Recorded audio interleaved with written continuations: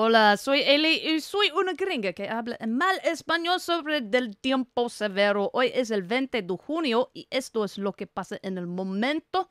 En el Pacífico Oriental tenemos una zona de probabilidad de 20% y en el Atlántico tenemos una zona de 10%.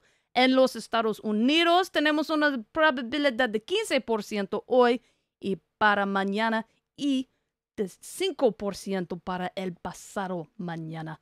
Este es el mapa de las zonas de probabilidad en el mundo de los ciclones. En el Atlántico tenemos una zona de probabilidad de 10% en el momento y también 10% en los próximos 5 días.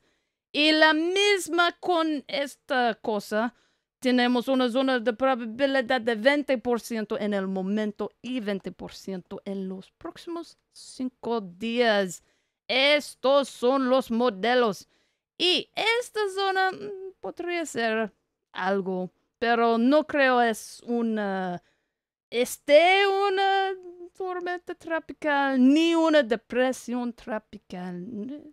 No es mucho, no es mucho, no sé. En los Estados Unidos, este es el pronóstico de tiempo severo para los próximos días y este, esta, este, este mapa muestra qué pasa en el momento. Tenemos un aviso por tornado en Minnesota y 19 avisos por tormentas severas en todas partes. Sí.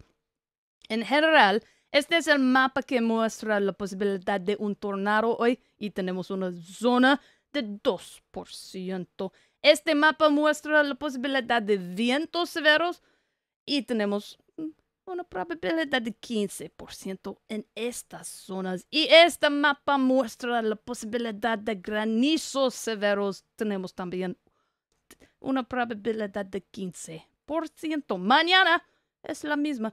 Tenemos una zona de probabilidad aquí de 15%. Y esto es todo para hoy. Sí, sí. Y hasta mañana.